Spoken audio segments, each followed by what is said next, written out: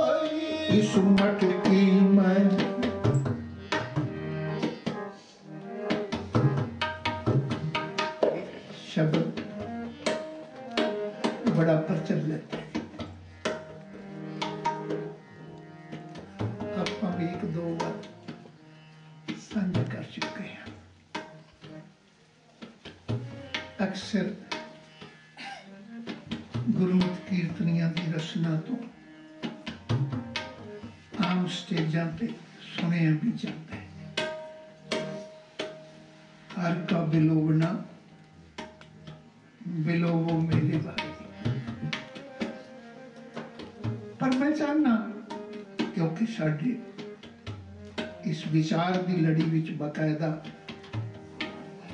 ਲੜੀਵਾਰ ਇਹ ਸ਼ਬਦ ਆਇਆ ਬਾਬਾ ਕਬੀਰ ਜੀ ਦਾ। ਇਸ ਦੇ ਸ਼ਬਦ ਜੋੜ ਨੂੰ ਚੰਗੀ ਤਰ੍ਹਾਂ ਸਮਝ ਲਈ ਕਈ ਵਾਰ ਕੀਤੀ ਗੁਰਬਾਣੀ ਵਿਚਾਰਨ ਲਈ ਗੁਰਬਾਣੀ ਦੇ ਲਫ਼ਜ਼ਾਂ ਦੀ ਤੇ ਲਫ਼ਜ਼ਾਂ ਦੇ ਜੋੜ ਦੀ ਗੱਲ ਬਹੁਤ ਜ਼ਰੂਰੀ ਹੈ।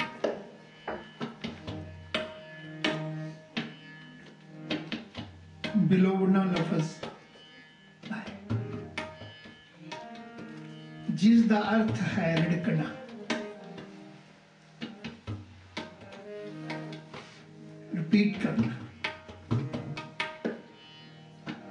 ਹੁੰਦਾ ਕਿ ਰੇੜਕਾ ਕੀ ਹੈ ਉਹ ਸਿੱਧੇ ਨੂੰ ਕਦੇ ਇੱਧਰ ਲੈ ਜਾਂਦਾ ਹੈ ਕਦੇ ਇੱਧਰ ਲੈ ਜਾਂਦਾ ਹੈ ਗੋਲ ਚੱਕਰ ਤੇ ਹੁੰਦਾ ਤਦ ਵੀ ਜਿੱਥੋਂ ਆਉਂਦੀ ਉਸ ਤੋਂ ਹੀ ਜਾਂਦੀ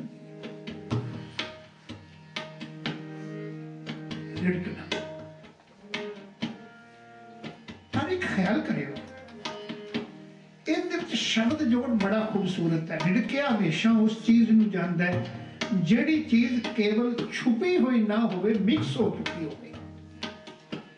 ਦੋਹਾਂ ਫ਼ਰਕ ਹੈ। ਇੱਕ ਚੀਜ਼ ਅੰਦਰ ਲੁਕਾ ਦਿੱਤੀ। ਉਹ ਕਿਸੇ ਪਰਦੇ ਦੇ ਉਰਲੇ ਹੈ। ਖੋਜ ਉਹਦੀ ਵੀ ਹੈ।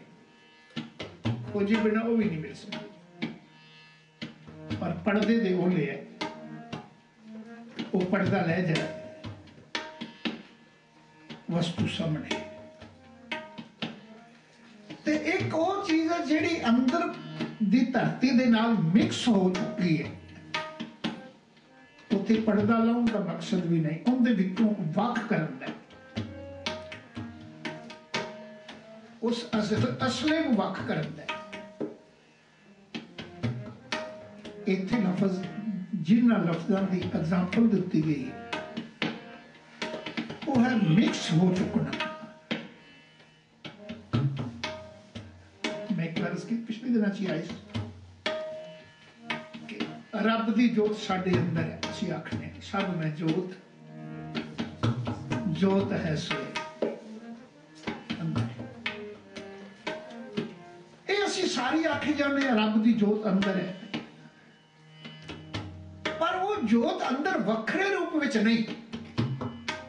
ਜੇ ਸਿਰਫ ਅੰਦਰ ਦਾ ਹੀ ਮਸਲਾ ਹੁੰਦਾ, ਤੇ ਮੈਂ ਉਸ ਕੀਤੀ ਸੀ ਪਿਛਲੇ ਦਿਨ ਫਿਰ ਤਾਂ ਡਾਕਟਰ ਆਪਰੇਸ਼ਨ ਕਰਦੇ ਤੇ ਅੰਦਰ ਦੀ ਜੋਤ ਨੂੰ ਲੱਭ- ਲੈਂਦੇ। ਕਿਸੇ ਡਾਕਟਰ ਨੇ ਆਪਰੇਸ਼ਨ ਕਰਕੇ ਹੁਣ ਤੱਕ ਅੰਦਰ ਦੀ ਜੋਤ ਨੂੰ ਨਹੀਂ ਲੱਭਿਆ ਨਾ ਕਿਸੇ ਨੂੰ ਮਿਲੀ। ਹੈ ਅੰਦਰ ਹੀ। ਅੰਦਰ ਦੀ ਚੀਜ਼ ਨੂੰ ਖੋਜਣਾ ਹੋਰ ਗੱਲ ਹੈ। ਤੇ ਮਿਕਸ ਹੋਈ ਹੋਈ ਚੀਜ਼ ਨੂੰ ਵੱਖ ਕਰਨਾ ਹੋਰ ਕਰਨਾ ਹੈ। ਹੁਣ ਰੱਬ ਅੰਦਰ ਹੈ। ਪਰ ਵੱਖਰੇ ਰੂਪ ਵਿੱਚ ਨਹੀਂ। ਸਾਡੇ ਵਿੱਚ ਮਿਕਸ ਹੋਇਆ ਹੋਇਆ ਹੈ, ਅੰਦਰੋਂ ਹੁੰਦਿਆਂ ਹੋਇਆ ਵੱਖਰਾ ਦਿਸਦਾ ਨਹੀਂ, ਉਹਨੂੰ ਵੱਖ ਕੀਤਾ ਨਹੀਂ ਜਾ ਸਕਦਾ। ਕਿਵੇਂ ਕਰੀਏ? ਉਹਦਾ ਨਾਂ ਹੈ ਬਿਰਬਣਾ ਕਿ ਦੁੱਧ ਵਿੱਚ ਘਿਓ ਹੈ। ਦੁੱਧ ਵਿੱਚ ਘਿਓ ਹੈ। ਪਰ ਇਹ ਖਿਆਲ ਕਰਿਓ, ਦੁੱਧ ਵਿੱਚੋਂ ਵੀ ਡਾਇਰੈਕਟ ਤੁਸੀਂ ਘਿਓ ਨਹੀਂ ਕਰ ਸਕਦੇ। ਕਿਉਂਕਿ ਛੁਪਾ ਕੇ ਮੇਰਾ ਇਹ ਨਹੀਂ ਨਾ ਛੁਪਿਆ ਹੋਇਆ ਮਿਕਸ ਹੋਇਆ ਹੋਇਆ ਕਿਹੜੀ ਅਜੀਬ ਗੱਲ ਹੈ। ਉਸੇ ਦੁੱਧ ਵਿੱਚ ਕਿਉਂ ਹੈ ਬਾਣੀ ਨੇ ਆਖ ਦਿੱਤਾ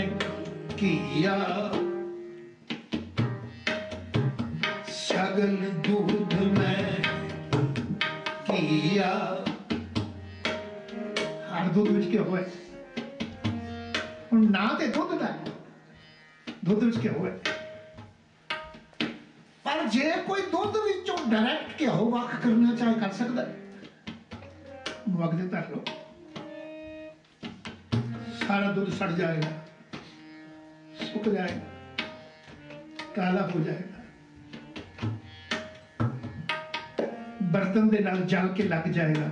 ਕਿਉਂ ਆਖਿਆ ਹੈ ਵਿੱਚ। ਬਿਲੋਣ ਦਾ ਅਰਥ ਫ਼ਰਕ ਹੈ। ਜੇ ਦੁੱਧ ਵਿੱਚੋਂ ਕਿਹੋ ਡਾਇਰੈਕਟ ਹੈ, ਤੇ ਸਹੀ, ਇਹਦੇ ਵਿੱਚ ਕੋਈ ਸ਼ੱਕ ਵਾਲੀ ਗੱਲ ਵੀ ਨਹੀਂ ਵੀ ਨਹੀਂ ਹੈ। ਪਰ ਦੁੱਧ ਵਿੱਚੋਂ ਕਿਉਂ ਨਹੀਂ ਨਿਕਲਦਾ, ਨਾ ਦੁੱਧ ਦਾ ਸਗਲ ਦੁੱਧ ਮੈਂ ਕੀ ਆ? ਪਰ ਤੁਸੀਂ ਦੁੱਧ ਵਿੱਚੋਂ ਕਿਉਂ ਨਹੀਂ ਕੱਢ ਸਕਦੇ। ਦੁੱਧ ਨੂੰ ਰਿੜਕਣਾ ਵੀ ਸ਼ੁਰੂ ਕਰ ਦਿਓ, ਤਦ ਵੀ ਨਹੀਂ ਨਿਕਲ ਸਕਦਾ। ਪਾਓ ਮਟਕੀ ਵਿੱਚ। ਉਹਨੂੰ ਰਿੜਕਣਾ ਸ਼ੁਰੂ ਕਰ ਦਿਓ ਜਿੰਨਾ ਮਰਜ਼ੀ ਰਿੜਕ ਲਓ ਨਹੀਂ ਨਿਕਲਦਾ। ਕਿਉਂਕਿ ਐਗਜ਼ਾਮਪਲ ਜਿਹੜੀਆਂ ਨੇ ਸਤਿਗੁਰੂ ਦੇ ਦਰਬਾਰ ਬਾਣੀ ਅੰਦਰ, ਇਹ ਬੜੀਆਂ ਡੀਪਲੀ ਸਮਝ ਕੇ ਉਹਦੇ ਵਿੱਚੋਂ ਉਹ ਵੀ ਆਪਣੇ ਆਪ ਵਿੱਚ ਇੱਕ ਰਿੜਕਾ ਹੈ। ਕਹਿ ਦਿੱਤਾ ਸਗਲ ਦੁੱਧ ਮੈਂ ਕੀਆ ਪਰ ਸਾਰਾ ਦੁੱਧ ਜਲ ਜਾਏ। ਤੁਸੀਂ ਆਖੋ ਦੁੱਧ ਖਤਮ ਹੋ ਗਿਆ, ਦੁੱਧ ਸਾਰਾ ਜਲ ਗਿਆ। ਘਿਓ ਕਿੱਧਰ ਗਿਆ? ਜਿਹੜਾ ਵਿੱਚ ਸੀ। ਕਿਉਂਕਿ ਉਹਦੇ ਬਦਲਵੇਂ ਹੋਏ, ਬਦਲਦੇ ਹੋਏ ਰੂਪਾਂ ਅੰਦਰ ਦੇ ਅੰਦਰ ਅੰਦਰ ਦੇ ਅੰਦਰ ਛੁਪਾ ਕੇ ਰੱਖਿਆ, ਇਸੇ ਲਈ ਕਹਿ ਦਿੱਤਾ।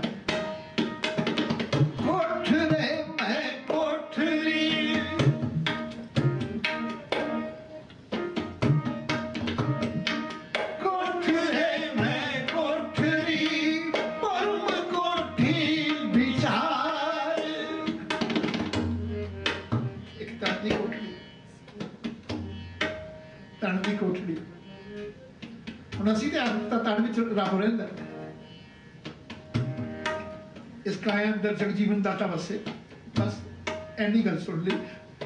ਕਿਸ ਰੂਪ ਵਿੱਚ ਵਰਤ ਰੱਖੇ? ਕਿੰਨਾ ਡੀਪਲੀ ਵਸੇ?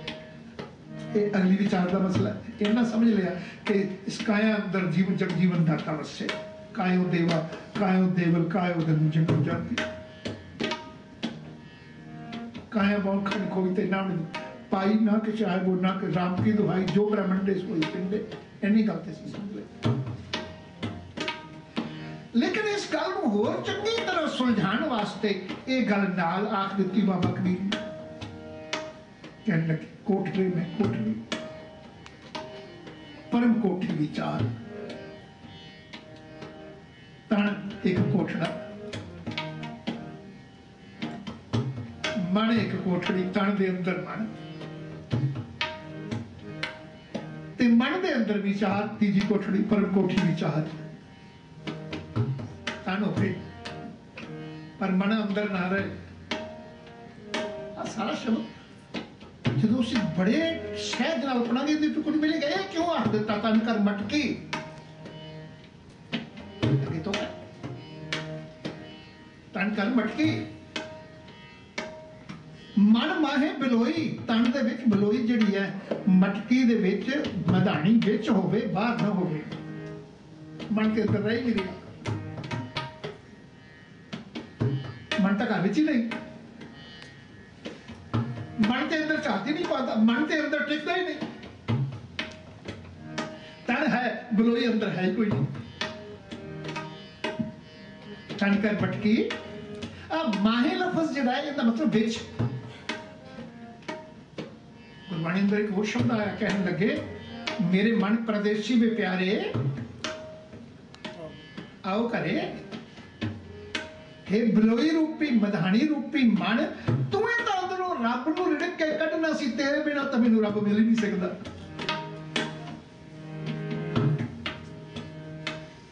ਤੇਰੇ ਬਿਨਾ ਰੱਬ ਮਿਲ ਨਹੀਂ ਸਕਦਾ। ਗੁਰਬਾਣੀ ਦੇ ਗੁਰਬਾਣੀ ਦੇ ਇੱਕ ਕਈ ਥਾਵਾਂ ਤੇ ਆਖਿਆ ਗਿਆ। ਤੇਰੇ ਬਿਨਾ ਮਨ ਮਿਲ ਨਹੀਂ ਸਕਦਾ, ਰੱਬ ਮਿਲ ਨਹੀਂ ਸਕਦਾ। ਨਾ ਮਨ ਮਰੇ ਮਨ ਮਰੇ ਦਾਰੂ ਜਾਣੇ ਕੋਈ ਨਾ ਮਨ ਮਰੇ, ਨਾ ਕਾਰਨ ਹੋਏ। ਮਨ ਵਸ ਦੂਤਾਂ ਦੁਰਮੰਦ ਹੋਏ। ਮਨ ਮਰੇ, ਦਾਰੂ ਜਾਣੇ ਕੋਈ ਮਨ ਸ਼ਬਦ ਮਰੇ, ਸੰਬੰਧੀ ਮਨ ਤੇ ਹੁਣ ਤਨ ਦੀ ਮਟਕੀ ਤਾਂ ਹੈ? ਤੇ ਇਹਦੇ ਵਿੱਚ ਦੁੱਧ ਵੀ ਮੌਜੂਦ ਹੈ। ਰੱਬ ਦੇ ਅੰਦਰ ਹੀ ਕਿਉਂ ਦਾ ਮੌਜੂਦ ਹੈ ਅੰਦਰ। ਇਹ ਤਾਂ ਨਹੀਂ ਆਖ ਸਕਦੇ ਵੀ ਗੁਰੂ ਦਾ ਇਹ ਕਹਿਣਾ ਗਲਤ ਹੈ, ਇਸ ਕਾਇਆ ਅੰਦਰ ਜਗਜੀਵਨ ਦਾਤਾ ਬਸ ਸਭ ਮੈਂ ਜੋ ਜੋ ਹੈ ਰੱਬ ਅੰਦਰ ਬਾਹਰ ਢੂੰਡਣ ਤੇ ਛੂਟ ਪਰੀ ਗੁਰ ਘਰ ਹੀ ਮੈਂ ਇਹਦੇ ਵਿੱਚ ਕੋਈ ਸ਼ੱਕ ਨਹੀਂ, ਗੁਰਬਾਣੀ ਬਾਰ-ਬਾਰ ਇੱਕ ਗੱਲ ਕਹਿ ਰਹੀ ਹੈ, ਰੱਬ ਤੇਰੇ ਅੰਦਰ ਵਸਦਾ ਪਰ ਬਲੋਈ ਅੰਦਰ ਕੋਈ ਨਹੀਂ। ਮਨਾਣੀ ਅੰਦਰ ਕੋਈ ਨਹੀਂ। ਮਨ ਬਾਹਰ ਪਿਆ, ਭਟਕਦਾ ਹੈ। ਮਨ ਬਿਨਾਂ ਨਿੱਕੇ ਕੌਣ? ਕਿਉਂਕਿ ਮਨ ਵਿਚਾਰ ਦਾ ਸੰਗ੍ਰਹਿ ਵਿਚਾਰ ਹੀ ਰਿੜਕਾ ਹੈ ਹਰ ਕਾ ਬਿਲੋਨਾ ਮਨ ਕਾ ਵਿਚਾਰਾ ਸਾਰੀ ਇਸ ਸ਼ਬਦ ਦੀ ਉਠਾਣਕਾ ਜਿਹੜੀ ਹੈ ਇਸ ਇੱਕ ਲਫ਼ਜ਼ ਦੇ ਦੁਆਲੇ ਬਿਲੋਵਣ ਦੇ ਦੁਆਲੇ ਫਿਰਦੀ ਹੈ। ਹਰ ਕਾ ਬਿਲੋਨਾ ਮਨ ਕਾ ਵਿਚਾਰਾ ਉਧਰ ਵੀ ਆਖ ਦਿੱਤਾ ਕਹਿਣ ਲੱਗੀ ਕੋਠੜੇ ਮੈਂ ਕੋਠੜੀ ਪਰਮ ਕੋਠੀ ਵਿਚਾਰ ਕੋਠੜਾ ਸਰੀਰ ਦਾ ਉਹਦੇ ਵਿੱਚ ਕੋਠੜੀ ਮਨ ਦੀ ਤੇ ਮਨ ਵਿੱਚ ਕੋਠੜੀ ਵਿਚਾਰ ਦੀ ਇਸ ਲਈ ਬਾਣੀ ਰੱਖ ਦਿੱਤਾ। ਤਨ ਮੈਂ ਮਣੂਆ ਇੱਕ ਤਰ੍ਹਾਂ ਦੇ ਥੋੜਾ ਅਸੀਂ ਜਦੋਂ ਦੁਆਲੇ ਵੇਖਦੇ ਆ ਨਾ, ਇੱਕ ਇਸ਼ੂ ਲੈ ਕੇ, ਇੱਕ ਸਬਜੈਕਟ ਲੈ ਕੇ ਜਦੋਂ ਤੁਰੀਦਾ ਦੁਆਲੇ ਦੀਆਂ ਬਹੁਤ ਸਾਰੀਆਂ ਚੀਜ਼ਾਂ ਨਾਲ ਨਾਲ ਜੁੜ ਜੁੜੀਆਂ ਹੁੰਦੀਆਂ ਤਨ ਮੈਂ ਮਨੁਆ। ਮਨ ਮੈਂ ਸਾਚਾ। ਸੋ ਸਾਚਾ ਮੇਰੇ ਸਾਚੇ ਰਾਚਾ ਤਨ ਵਿੱਚ ਮਨ ਹੈ। ਮਨ ਵਿੱਚ ਵਿਚਾਰ ਹੈ, ਉਹ ਸੱਚ ਹੈ। ਹੁਣ ਮਸਲਾ ਤਾਂ ਇਹ ਆ ਗਿਆ ਹੈ ਕਿ ਦੁੱਧ ਤੇ ਹੈ, ਪਰ ਮੇਰਾ ਦੁੱਧ ਕੀ ਕਰੇ? ਦੁੱਧ ਵਿੱਚੋਂ ਡਾਇਰੈਕਟ ਜੋਤ, ਦੁੱਧ ਵਿੱਚ ਪਿਆ ਹੋਇਆ ਘਿਓ ਨਹੀਂ ਪ੍ਰਾਪਤ ਹੁੰਦਾ। ਉਹਨੇ ਤਿੰਨ ਫਾਰਮ ਬਦਲਣੀਆਂ ਨੇ। ਪਹਿਲਾ ਦੁੱਧ, ਤੇ ਦੂਜੀ ਦਹੀਂ। ਦਹੀਂ ਤੋਂ ਬਾਅਦ ਲੱਸੀ, ਮੱਖਣ। ਹੁਣ ਇੱਕ ਗੱਲ ਦੇਖਿਓ, ਲੱਸੀ ਕੀ ਹੈ? ਦੁੱਧ ਹੈ ਲੱਸੀ ਦਾ ਤੇ ਘਿਓ ਦਾ ਸੰਗ੍ਰਹਿ। ਸੁਮੇ ਉੱਥੇ ਦੋਨੋਂ ਚੀਜ਼ਾਂ ਨੇ। ਦੁੱਧ ਵਿੱਚ ਤੁਸੀਂ ਹੋਰ ਪਾਣੀ ਪਾ ਲਓ, ਲੱਸੀ ਤੇ ਬਣਦੀ ਜਾਏਗੀ ਉਹਦੇ ਵਿੱਚ ਕੋਈ ਨਹੀਂ ਨਿਕਲਦਾ। ਸੰਗ੍ਰਹਿ। ਜਦੋਂ ਉਹਦੇ ਵਿੱਚੋਂ ਦਹੀਂ ਜੰਮੇਗੀ ਦਹੀਂ ਜੰਮੇਗੀ, ਉਹਦੇ ਵਿੱਚ ਲੱਸੀ ਜਿਹੜੀ ਹੈ ਠੋਸ ਹੋ ਜਾਏਗੀ। ਤੇ ਰੇੜਕਾ ਨੇ ਉਹਨੂੰ ਉਸ ਲੱਸੀ ਨੂੰ ਵੱਖ ਕਰਨਾ ਹੋਰ ਕੁਝ ਰੇੜਕਾ ਹੈ ਕਿ ਲੱਸੀ ਨੂੰ ਵੱਖ ਕਰਨਾ। ਅੰਦਰ ਮਾਇਆ ਤੇ ਪ੍ਰਮਾਤਮਾ ਪ੍ਰਭੂ ਦੋਨੋਂ ਬੈਠੇ ਨੇ। ਲੱਸੀ ਤੇ ਕਿਉਂ ਦੋਨੋਂ ਬੈਠੇ ਨੇ। ਆਕਰ ਸਰੀਰ ਮਾਇਆ ਦਾ ਪੁਤਲਾ ਹੈ। ਜਿੱਥੇ ਇੱਕ ਹੈ कि इस ਦੇ ਜਗਜੀਵਨ ਦਾਤਾ ਉਸੇ ਉੱਥੇ ਮਾਇਆ ਵੀ ਅੰਦਰ ਹੀ ਹੈ। ਕਰਤਾ ਹੀ ਮੈਂ ਕਿਰਤ ਦਾ ਸਾਧਨ ਹੀ ਮਾਇਆ ਤੇ ਪਿਛਲੇ ਦਿਨ ਚਾਰ ਕੁ ਹਫ਼ਤੇ ਪਹਿਲਾਂ ਇਹ ਸਬਜੈਕਟ ਆ ਚੁੱਕਾ ਹੁਣ ਅੰਦਰ ਦੋਨੋਂ ਬੈਠੇ ਨੇ ਤੇ ਮਨ ਦੇ ਰੇੜਕੇ ਨੇ ਵਿਚਾਰ ਨੇ ਮਾਇਆ ਨੂੰ ਤੇ ਪ੍ਰਭੂ ਨੂੰ ਵੱਖ ਕਰਕੇ ਕੱਢ ਕੇ ਕਿ ਉਹ ਦਾ ਰੂਪ ਦੇ ਦੇ ਦੇਣਾ ਹੈ। ਉਹਦੇ ਵਿੱਚੋਂ ਮਾਇਆ ਦਾ ਹਿੱਸਾ ਵੱਖਰਾ ਕਰਨਾ ਹੈ। ਰਹਿੰਦਾ ਉਸੇ ਮਾਇਆ ਵਿੱਚ ਤੋਂ ਹੀ ਸੀ। ਅੰਜਨ ਮਾਹੇ ਨਿਰੰਜਨ ਰਹੀਐ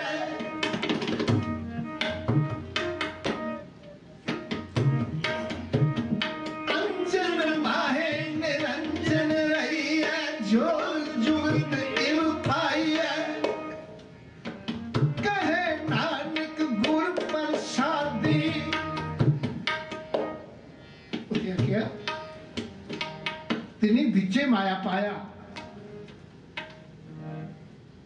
ਜਿਨ੍ਹਾਂ ਨੇ ਗੁਰੂ ਦੀ ਅਗਵਾਈ ਲਈ। ਕਹਿੰਨਾਂ ਨੇ, ਗੁਰੂ ਪ੍ਰਸਾਦੀ ਹਰ ਮਨ ਵਸਿਆ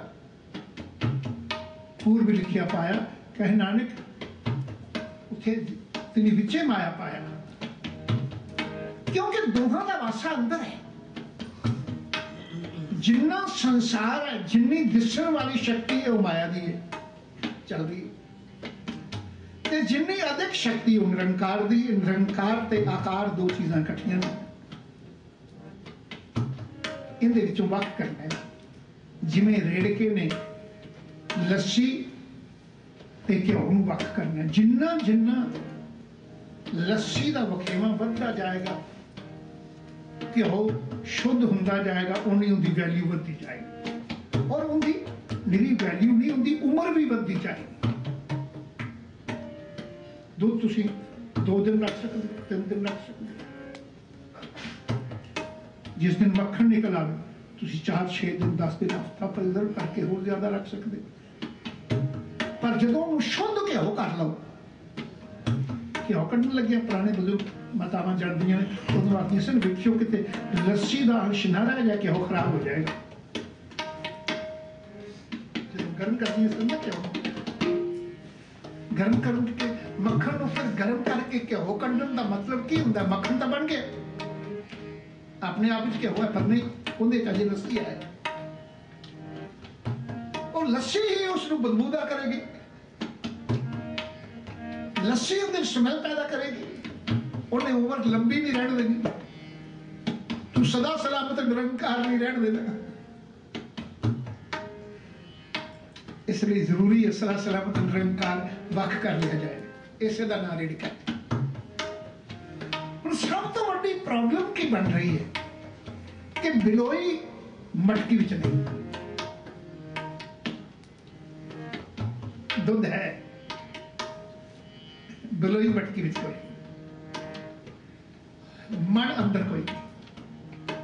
ਮਨ ਨਾ ਹੋਣ ਕਰਕੇ ਰੇੜਕਾ ਦੁੱਧ ਦਾ ਚੱਲ ਰਿਹਾ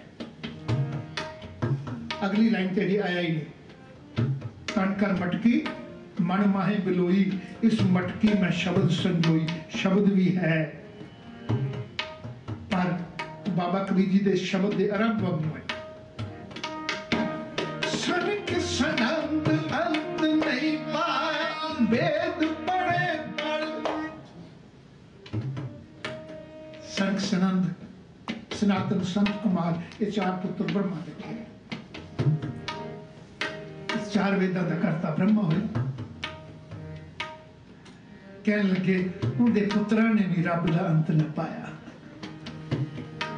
ਵੇਦ ਪੜਨ ਵਾਲੇ, ਉਹ ਤੇ ਵੇਦ ਪੜਨ ਕਰਦਾ, ਵੇਦ ਦਾ ਕਰਤਾ ਬ੍ਰਹਮਾ। ਜੀਵਨ ਸਾਰਾ ਹੀ ਗਵਾ ਦਿੱਤਾ। ਕਿਉਂਕਿ ਪੜਦੇ ਲਫ਼ਜ਼ ਪੜਦਾ ਹੈ। ਇਹ ਲਫ਼ਜ਼ ਨਾਲ ਸਮਝ ਰਿਹਾ ਹੈ। ਤੋਂ ਪਹਿਲੀ ਤੋਂ ਪੁੱਛੇ ਲਫ਼ਜ਼ ਕਿਉਂ ਆਇਆ ਹੈ? शनिक शनाद अंत नहीं पाया वेद पढ़े पढ़ विचारे पढ़ने हर का विलोमना मन का विचारा ਵਿਲੋਵਣਾ ਸੀ ਕੇਵਲ ਵਿਚਾਰ ਤੇ ਖਲੋਤਾ ਤੇ ਵਿਲੋਵਣਾ ਹੋਇਆ ਨਾ ਪੜਨਾ ਹੋ ਗਿਆ ਤੇ ਪੜਨ ਵਾਲੇ ਗੁਰੂ ਨੇ ਵੀ ਆਖ ਦਿੱਤਾ ਕਿਆ ਪੜੀਏ ਕਿਆ ਗੁਣੀਏ ਕਿਆ ਵੇਦ ਪੁਰਾਣਾ ਸੁਣੀਏ ਪੜੇ ਸੁਣੇ ਕਿਆ ਹੋਈ ਜਾਂ ਸਹਿਜ ਨਾ ਮਿਲਿਓ ਸੋਈ ਗੁਰੂ ਨਾਨਕ ਨੇ ਵੀ ਆਖ ਦਿੱਤਾ ਪੜ ਪੜ ਗੱਡੀ ਲਦੀਏ ਪੜ ਪੜ ਭਰੀਏ ਸਾਥ ਪੜ ਪੜ ਬੇੜੀ ਪਾਈਏ ਪੜ ਪੜ ਗੱਡੀਏ ਖਾਦ ਪੜੀਏ ਜੇਤੇ ਬਰਸ ਬਰਸ ਪੜੀਏ ਜੇਤੇ ਪੜੀਏ ਜੇਤੀ ਅਰਜਾ ਪੜੀਏ ਜੇਤੇ ਸਾਥ, ਨਾਨਕ ਲਿਖੇ ਹੋਰ ਹੋਵੇਂ ਚਖਣਾ ਚਾਕ ਲਿਖ ਲਿਖ ਪੜਿਆ ਤੇ ਤਾਂ ਕਰਿਆ। ਕਿਉਂਕਿ ਗੁਰਮਤ ਦੀ ਦੁਨੀਆ ਵਿੱਚ ਪੜ੍ਹਨਾ ਕੁਝ ਵੀ ਨਹੀਂ। ਪੜਿਆ ਪੜਨਾ ਜਿਹੜਾ ਹੈ, ਉਹ ਸਰੀਰ ਦੀ ਕਿਰਿਆ ਜਾਂ ਅੱਖਾਂ ਨੇ ਪੜਨਾ ਜਾਂ ਜ਼ਬਾਨ ਨੇ ਬੋਲਣਾ ਮਨ ਹੋਵੇ ਨਾ ਹੋਵੇ। ਇਸ ਨੂੰ ਸੀ ਰੜਕਾ ਨਹੀਂ ਆਖਦੇ, ਕਿਉਂਕਿ ਉਹ ਤਾਂ ਮਧਾਣੀ ਨੇ ਕਰਨਾ ਤੇ ਤਨ ਜਿਹੜਾ ਮਧਾਣੀ ਨਹੀਂ, ਮਧਾਣੀ ਤਾਂ ਹੈ ਮਨ ਮਨ ਮਾਹੇ ਸੰਜੋਈ, ਮਨ ਮਨ ਮਾਹੇ ਬਲੋਈ। ਤੇ ਤਨ ਦਾ ਹਿੱਸਾ ਨੇ ਅੱਖਾਂ, ਤਨ ਦਾ ਹਿੱਸਾ ਹੈ ਮੂੰਹ। ਇਸ ਲਈ ਇਸ ਬਲੋਵਣ ਨੂੰ ਬਲੋਵਣਾ ਨਹੀਂ ਕਹਿੰਦੇ ਕਿਉਂਕਿ ਮਧਾਣੀ ਦੇ ਵਿੱਚ ਹੈ ਨਹੀਂ, ਮਨ ਵਿੱਚ ਆਇਆ ਨਹੀਂ।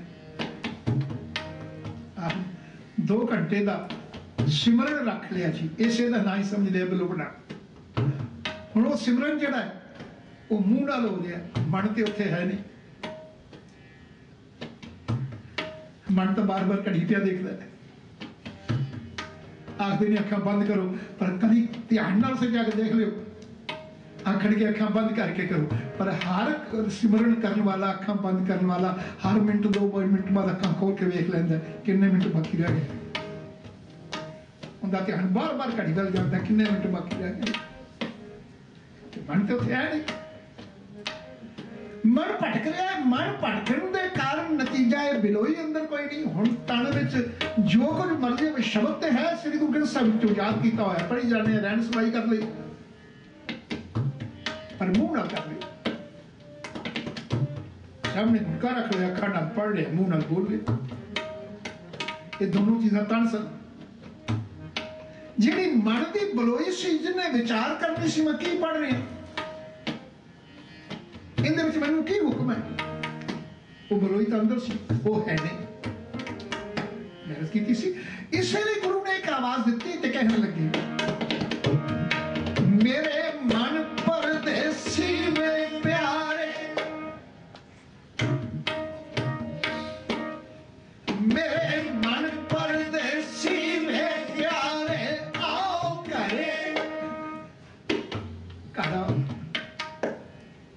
ਤੇਰੇ ਬਿਨਾਂ ਵਿਚਾਰ ਨਹੀਂ ਆ ਸਕਦਾ।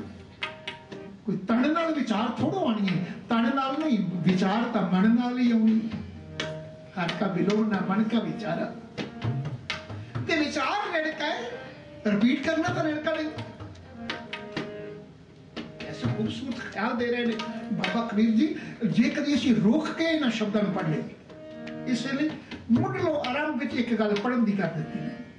ਕਹਿੰਦੇ ਜਿਹੜੇ ਲੋਕ ਕੇਵਲ ਤਣ ਤੇ ਖਲੋਤੇ ਨੇ। ਉਹਦੇ ਨਾਲ ਪੜ ਰਹੇ ਨੇ, ਦੇਖ ਰਹੇ ਨੇ। ਉਹ ਲੋਕ ਤੂੰ ਭਰਾ ਕੀ ਵਿਚਾਰੇਗਾ? ਉਹ ਤੇ ਲੋਕ ਸਨਕ ਸਨੰਦ ਵਰਗੇ ਵੀ ਕੁਝ ਨਹੀਂ ਕਰ ਸਕੇ। ਜਿਨ੍ਹਾਂ ਕੋਲ ਪਿਤਾ ਦੇ ਪੈਦਾ ਕੀਤੇ ਹੋਏ ਚਾਰ ਵੇਦ ਸਨ, ਤੇ ਉਹ ਬ੍ਰਹਮਾ ਵੀ ਕੁਝ ਨਾ ਪ੍ਰਾਪਤ ਕਰ ਸਕਿਆ। ਜੀਵਨ ਗਵਾ ਕੇ ਹੀ ਚਲਾ ਗਿਆ, ਜਿੰਦੇ ਕੋਲ ਆਪ ਪੈਦਾ ਕਰਕੇ ਰੱਖੇ ਹੋਏ ਵੇਦ ਸਨ ਚਾਰੇ ਵੇਦ ਪੜਦਾ ਰਿਹਾ ਕਿਉਂਕਿ ਤਨ ਤੱਕ ਸੀਮਿਤ ਰਿਹਾ ਸਨਕ ਸਨੰਦ ਅੰਤ ਨਹੀਂ ਪਾਇਆ ਸਨਕ ਸਨੰਦ ਅੰਤ ਨਹੀਂ ਪਾਇਆ ਵੇਦ ਪੜੇ ਪੜ ਬ੍ਰਹਮੇ ਜਨਮ ਗਵਾਇਆ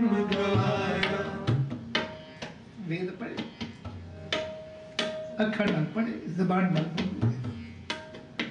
ਪਰ ਬ੍ਰਹਮਾ ਨੇ ਆਪਣਾ ਜੀਵਨ ਹੀ ਸਾਰਾ ਗਵਾ ਲਿਆ ਰੱਬ ਨੂੰ ਪ੍ਰਭੂ ਨੂੰ ਪ੍ਰਾਪਤ ਨਾ ਕਰ ਸਕਿਆ ਕਿਉਂਕਿ ਉਹ ਤਾਂ ਬਿਲੋਵਣ ਦੇ ਮੁਹਤਾਜ ਹੈ ਉਹ ਪੜਨ ਦੇ ਮੁਹਤਾਜ ਨਹੀਂ ਤੇ ਬਿਲੋਵਣ ਵਾਸਤੇ ਲੋੜ ਹੈ ਬਿਲੋਈ ਦੀ ਵਧਾਣੀ ਦੀ ਤੇ ਵਧਾਣੀ ਹੈ ਮਨ ਇਸ ਲਈ ਅਗਲੀਆਂ ਲਾਈਨਾਂ ਵੱਲ ਗਏ ਤੇ ਕਹਿਣ ਲੱਗੇ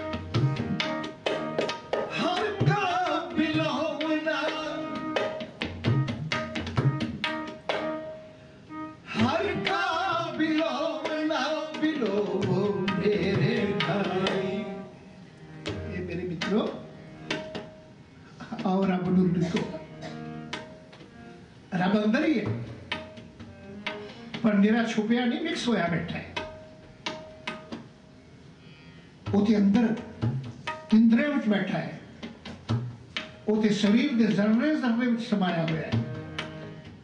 ਪਰ ਉਹਨੂੰ ਸਿਧਾਂਤਕ ਰੂਪ ਵਿੱਚ ਬਾਹਰ ਕੱਢਣਾ ਉਹ ਸਿਧਾਂਤ ਕੀ ਹੈ? ਅੱਖੀ ਸੂਤਕ ਵੇਖਣਾ, ਪਰ ਤਰਿਆ, ਪਰ ਫੜ ਕੰਨੀ ਸੂਤਕ ਕੰਨ ਪੈ ਲਾਇ ਤਬਾਰੀ ਖਾਏ। ਇਹ ਸਾਰਾ ਰੱਬ ਦਾ ਹੀ ਰਿੜਕਾ ਹੈ। ਕਹਿਣ ਲੱਗੇ ਉਹ ਸੂਖਸ਼ਮ ਰੂਪ ਸਿਧਾਂਤ ਕਿਉਂਕਿ ਸੂਖਸ਼ਮ ਹੈ। ਪਕੜੀ ਜਾਣ ਵਾਲੀ ਚੀਜ਼ ਨਹੀਂ, ਅਹਿਸਾਸ ਕਰਨ ਵਾਲੀ ਚੀਜ਼ ਹੈ। ਤੇ ਰੱਬ ਅਹਿਸਾਸ ਬਣ ਕੇ ਅੰਦਰ ਬੈਠਾ ਹੈ। ਕਹਿਣ ਲੱਗੇ, ਸਹਿਜ ਬਿਲਾਵਾ ਕਾਲੀ ਨਾ ਕਰਿਓ। ਦੇਖੋ ਤੁਸੀਂ ਅਖੰਡ ਪਾਠ ਵੀ ਰੱਖਿਆ ਹੋਵੇ ਨਾ। ਤੇ ਪਤਾ ਹੋਵੇ ਇੰਨੇ ਵਜੇ ਕਾਰਡਾਂ ਤੇ ਲਿਖਿਆ ਭੋਗ ਪਾਉਣਾ। ਤੇ ਪਾਠ ਲੇਟ ਹੋ ਗਿਆ, ਪਾਠੀ ਨੂੰ ਕਹੀਦਾ ਜ਼ਰਾ ਤੇਜ਼ ਕਰ। ਆਖਰ ਅਖੰਡ ਪਾਠਾਂ ਵਾਲੇ ਘਰਾਂ ਵਿੱਚ ਭੋਗ ਦੇ ਸਮੇਂ ਪਾਠੀਆਂ ਦੇ ਪਾਦੀ ਬਣੀ ਹੁੰਦੀ ਹੈ, ਕਿਤੇ ਲੇਟ ਨਾ ਹੋ ਜਾਏ।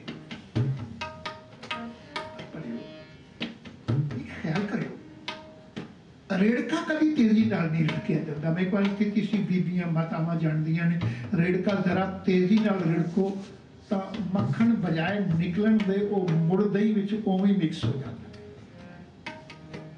ਫਿਰ ਕਈ ਵਾਰ ਬੀਬੀਆਂ ਆਖਦੀਆਂ ਨੇ, ਰੇੜਕੇ ਨੂੰ ਠੰਡਾ ਕਰ ਲਓ। ਫਿਰ ਠੰਡੇ ਪਾਣੀ ਪਾਉਂਦੀਆਂ ਨੇ ਆਈਸ ਪਾਉਂਦੀਆਂ ਨੇ। ਕਿਉਂਕਿ ਰੇੜਕਾ ਕੁਝ ਪ੍ਰਾਪਤੀ ਤਾਂ ਦਿੰਦਾ ਜੇ ਉਹਦੇ ਵਿੱਚ ਸਹਿਜ ਸ਼ਾਮਲ ਹੋ। ਟਿਕਾਓ, ਸ਼ਾਂਤੀ, ਇਕਾਗਰਤਾ ਸ਼ਾਮਲ ਹੋਵੇ ਕਹਿਣ ਲੱਗੇ, ਭਰਿਆ, ਜੇ ਤੇਰੇ ਕੋਲ ਸ਼ਬਦ ਦੀ ਦਹੀਂ ਹੈ ਵੀ, ਸ਼ਬਦ ਦਾ ਦੁੱਧ ਹੈ ਵੀ, ਤਾਂ ਇਹਨੂੰ ਸਹਿਜ ਦੇ ਕਾਲੀ ਨਾ ਕਰਕੇ ਐਨੇ ਸ਼ਬਦ ਜ਼ਰੂਰ ਪੜਨੇ ਐਨਾ ਨਿਤਨੇਮ ਜ਼ਰੂਰ ਕਰਨਾ ਐਨੀ ਬਾਣੀ ਜ਼ਰੂਰ ਪੜਨੀ ਹੈ ਐਨੇ ਘੰਟੇ ਵਿੱਚ ਆ ਅਖੰਡ ਪਾਠ ਜ਼ਰੂਰ ਹੋ ਜਾ ਆ ਜਿਹੜਾ ਜ਼ਰੂਰ ਹੋ ਜਾਣ ਵਾਲਾ, ਉਹਨੇ ਤੈਨੂੰ ਬੰਦਰ ਨਹੀਂ ਰੱਬ ਨਹੀਂ ਮਿਲੇ ਦਿੱਤਾ। ਪੜੀ ਗਿਆ। ਸਾਰੀ ਜ਼ਿੰਦਗੀ ਪੜੀ ਗਿਆ। ਕਹਿਣ ਲੱਗੇ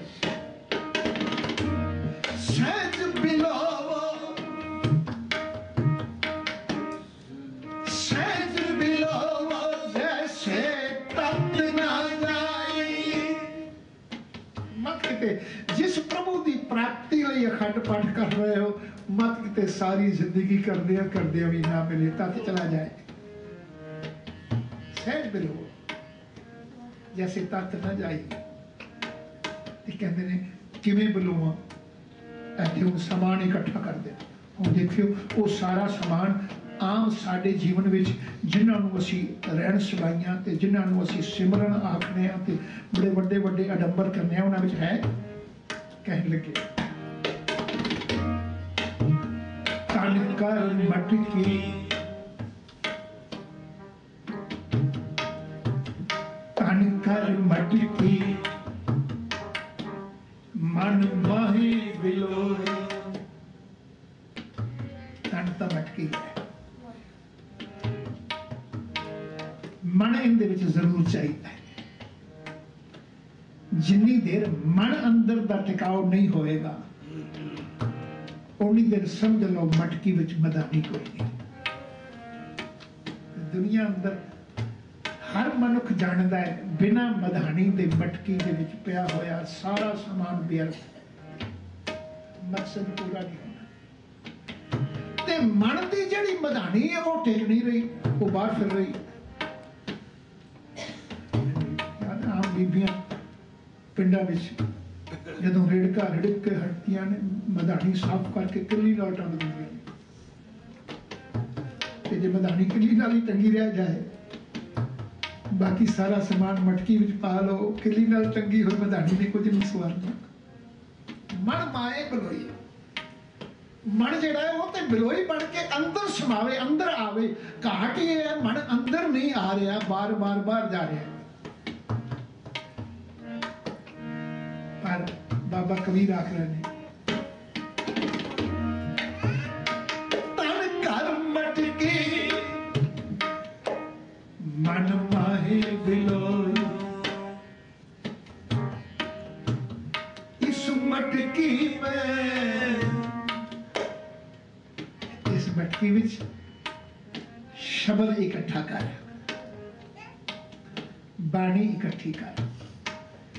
ਮਨ ਦੀ ਮਧਾਣੀ ਅੰਦਰ ਪਾ ਤੇ ਸ਼ਬਦ ਦੀ ਵਿਚਾਰ ਦਾ ਰੇੜਕਾ ਰੇੜਕ। ਹਰ ਕਾ ਮਨ ਕਾ ਵਿਚਾਰ। ਉਹ ਜਿਹੜੀ ਵਿਚਾਰ ਹੈ ਨਾ, ਉਹ ਸ਼ਬਦ ਦੇ ਅੱਖਰਾਂ ਨੂੰ ਵੱਖ ਕਰ ਦੇਵੇਗੀ ਤੇ ਭਾਵ ਨੂੰ ਵੱਖ ਕਰ ਲਏਗੀ। ਅੱਖਰ ਤਾਂ ਕੇਵਲ ਸ- ਭਾਵਨਾਵਾਂ ਨੂੰ ਸੰਭਾਲ ਕੇ ਰੱਖਣ ਲਈ ਨੇ। ਅੱਖਰ ਆਪਣੇ ਆਪ ਵਿੱਚ ਸ਼ਬਦ ਨਹੀਂ ਅੱਖਰ ਆਪਣੇ ਆਪ ਵਿੱਚ ਗੁਰੂ ਨਹੀਂ, ਆਪਾਂ ਪਹਿਲਾਂ ਸੁਖਮਨੀ ਸਾਹਿਬ ਦੇ ਆਰੰਭ ਵਿੱਚ ਹੀ ਹੋ ਚੁੱਕੇ ਕਿ ਅੱਖਰ ਜਿਹੜੇ ਨੇ ਉਹ ਤੇ ਸੰਸਾਰ ਦੀ ਕਿਰਤ ਨੇ। ਲਿਪੀ ਜਿਹੜੀ ਹੈ ਉਹ ਮਨੁੱਖ ਨੇ ਬਣਾਈ ਹੈ। ਤੇ ਬਣਾਈ ਹੈ ਇਸ ਲਈ ਜਿਹੜੀਆਂ ਕੀਮਤੀ ਬਚਨ ਨੇ, ਕੀਮਤੀ ਬੋਲ ਨੇ ਕਿਤੇ ਗਵਾਚ ਨਾ ਜਾਣ, ਇਸ ਲਈ ਇਹਨੂੰ ਸੰਭਾਲ ਕੇ ਰੱਖ ਲਓ। ਸੰਭਾਲ ਕੇ ਰੱਖਣ ਵਾਲਾ ਇੱਕ ਬਾਕਸ ਹੈ, ਇੱਕ ਡੱਬਾ ਹੈ। ਕਿਉਂਕਿ ਬਾਣੀ ਨੇ ਵੀ ਕਹਿ ਦਿੱਤਾ। ਕਹਿਣ ਲੱਗੇ, ਐਸਾ ਨਾ ਹੋਵੇ ਕਿ ਲਿਖੇ ਬਾਝੋਂ ਸੁਰਤ ਨਾਹੀ ਬੋਲ ਬੋਲ ਗਵਾਈਏ। ਬੋਲ ਕਿਤੇ ਗਵਾਚ ਨਾ ਜਾਣ। ਲਿਪੀ ਬਹੁਤ ਚੰਗੀ ਚੀਜ਼ ਹੈ। ਜੇ ਨਾ ਹੁੰਦੀ, ਗੁਰੂ ਨਾਨਕ ਦੇ ਬੋਲ ਵੀ ਸਾਡੇ ਕੋਲ ਹੋ ਸਕਦਾ ਹੈ, ਅੱਜ ਗਵਾਚ ਜਾਂਦੇ ਪਰ ਦੂਜਾ ਪੱਖ ਇਹ ਵੀ ਹੈ ਕਿ ਲਿਪੀ ਇੱਕ ਬਖਸ਼ ਹੈ ਸੰਭਾਲ ਕੇ ਰੱਖਣ ਵਾਲੀ ਕੀਮਤੀ ਬੋਲਾਂ ਦੀ ਚੀਜ਼ ਵਸਤੂ ਨੂੰ ਪਰ ਇਕੱਲਾ ਬਾਕਸ ਹੀ ਸੰਭਾਲਦੇ ਰਹਿ ਜਾਈਏ, ਵਿਚਲੀ ਚੀਜ਼ ਨੂੰ ਕਦੀ ਦੇਖਿਆ ਹੀ ਨਾ ਹੋਵੇ। ਬਾਕਸ ਨੂੰ ਕਦੀ ਕੋਈ ਖੋਲ ਕੇ ਹੀ ਨਾ ਦੇਖੇ। ਉਸ ਬਾਕਸ ਨੂੰ ਹੀ ਸੰਭਾਲੀ ਜਾਏ। ਅਸੀਂ ਅੱਖਰਾਂ ਨੂੰ ਨਹੀਂ ਜਾਣਦੇ। ਆ ਜਦੋਂ ਮੈਂ ਡੇਰਿਆਂ ਦੇ ਕਈ ਆਗੂ ਆਖਣਾ, ਇਹਨੇ ਅੱਖਰ ਪੂਰੇ ਕਰ ਲਓ ਸੁਖਮਣੀ ਸਾਹਿਬ ਹੋ ਜਾਏਗਾ। ਇਹਨੇ ਅੱਖਰ ਪੂਰੇ ਕਰ ਲਓ, ਸ੍ਰੀ ਗੁਰੂ ਗ੍ਰੰਥ ਸਾਹਿਬ ਦਾ ਪਾਠ ਹੋ ਜਾਏਗਾ। ਮੰਨੋ, ਉਹ ਅੱਖਰਾਂ ਦੇ ਬਾਕਸ ਨੂੰ ਹੀ ਸੰਭਾਲ ਰਹੇ ਨੇ, ਵਿੱਚ ਕੀ ਹੈ, ਉਹ ਕੋਈ ਪਤਾ ਨਹੀਂ। ਆ ਜਿਹੜੇ ਬਾਣੀਆਂ ਦੇ ਅੱਖਰ ਗਿਣ ਗਿਣ ਕੇ ਲੋਕਾਂ ਕੋਲੋਂ ਕਰਾਉਂਦੇ ਨੇ। ਉਹ ਮੰਨੋ, ਅੱਖਰ ਤਾਂ ਇੱਕ ਬਾਕਸ ਨੇ। ਬੋਲਾਂ ਦੀ ਪਵਿੱਤਰ ਤੇ ਕੀਮਤੀ ਵਸਤੂ ਨੂੰ ਸੰਭਾਲਣ ਲਈ। ਇਸ ਲਈ ਕਹਿਣ ਲੱਗੇ ਭਰਿਆ, ਅੰਦਰ ਸ਼ਬਦ ਬੈਠਾ ਹੈ, ਪਰ ਸ਼ਬਦ ਦੀ ਵਿਚਾਰ ਨਹੀਂ ਬੈਠੀ ਹੈ ਜੇ ਉਹਨਾਂ ਨੂੰ ਵੱਖ ਨਹੀਂ ਕਰ ਰਹੀ ਉਸ ਲੱਸੀ ਨਾਲ। ਤੇ ਉਹ ਤਾਂ ਹੋਣੀ ਹੈ ਜਿਸ ਵੇਲੇ ਮਨ ਦੀ ਬਲੋਈ ਅੰਦਰ ਜਾਏਗੀ। ਜਿੰਨੀ ਦੇਰ ਤਨ ਦੀ ਮਟਕੀ ਵਿੱਚ ਮਨ ਦੀ ਬਲੋਈ ਨਹੀਂ ਜਾਏਗੀ ਤੇ ਵਿਚਾਰ ਦਾ ਰੇੜਕਾ ਨਹੀਂ ਰਿੜਕੇਗੀ, ਉਨੀ ਦੇਰ ਉਹਦੇ ਵਿੱਚੋਂ ਪ੍ਰਾਪਤੀ ਕੁਝ ਨਹੀਂ ਹੋਣੀ, ਇਸੇ ਲਈ ਕਹਿਣ ਲੱਗੇ। ਤਨ ਕਰ ਮਟਕੀ, ਮਨ ਮਾਹੇ ਬਲੋਈ। ਇਸ ਮਟਕੀ ਮੈਂ ਸ਼ਬਦ ਸੰਗੋਈ ਹਰ ਕਾ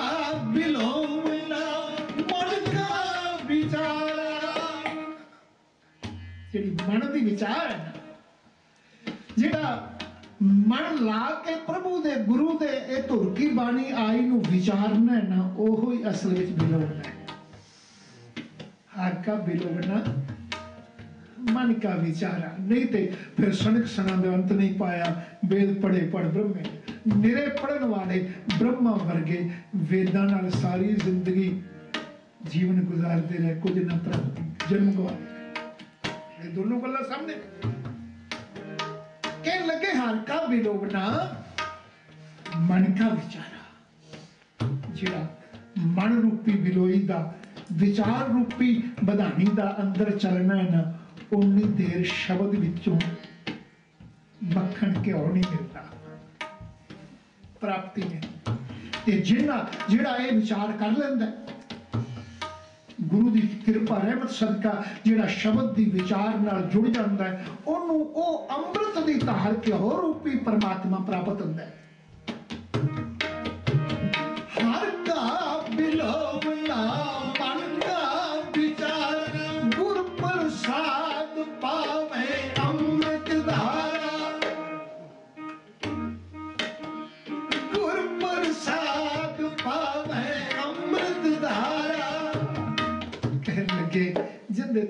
ਰੱਬ ਰਹਿਮਤ ਕਰੇ ਪ੍ਰਭੂ ਬਖਸ਼ਿਸ਼ ਕਰੇ ਐਸੇ ਮਨੁੱਖ ਨੂੰ ਤਨ ਵਿੱਚ ਸ਼ਬਦ ਤੇ ਸ਼ਬਦ ਵਿੱਚ ਵਧਾਣੀ ਮਨ, ਜੁੜਿਆ ਹੋਇਆ ਮਨ ਤੇ ਉਹ ਵਿਚਾਰ ਰੂਪੀ ਰਿੜਕੇ ਨਾਲ ਰਿੜਕ ਕੇ ਪ੍ਰਭੂ ਨੂੰ ਪ੍ਰਾਪਤ ਕਰਦਾ ਹੈ, ਮਨ ਨੂੰ, ਉਸ ਨੂੰ ਆਪਣੇ ਜੀਵਨ ਦਾ ਕਿਨਾਰਾ ਮਿਲ ਜਾਂਦਾ ਹੈ, ਮੰਜ਼ਿਲ ਮਿਲ ਜਾਂਦੀ ਹੈ। ਆਖਰੀ ਲਾਈਨ ਵਿੱਚ ਬਾਬਾ ਕਬੀਰ ਕਹਿਣ ਲੱਗੇ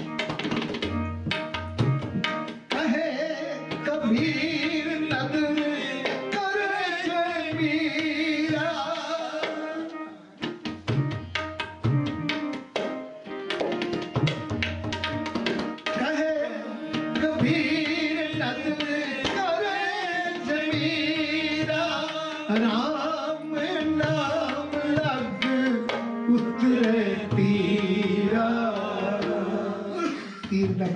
ਕਿਨਾਰਾ। ਕਹਿਣ ਲੱਗੇ, ਪ੍ਰਭੂ, ਰਹਿਮਤ ਹੋਵੇ ਤੇ ਇਉਂ ਜੀਵਨ ਦੇ ਅੰਦਰ ਪ੍ਰਭੂ ਦਾ ਰੇੜਕਾ, ਸ਼ਬਦ ਦਾ ਰੇੜਕਾ ਰੇੜਕੇ ਪ੍ਰਭੂ ਦੀ ਪ੍ਰਾਪਤੀ, ਮਨ ਨੂੰ ਜੀਵਨ ਕਿਨਾਰੇ ਲੱਗ ਗਿਆ। ਉਹਨੂੰ ਮੰਜ਼ਿਲ ਮਿਲ ਗਈ।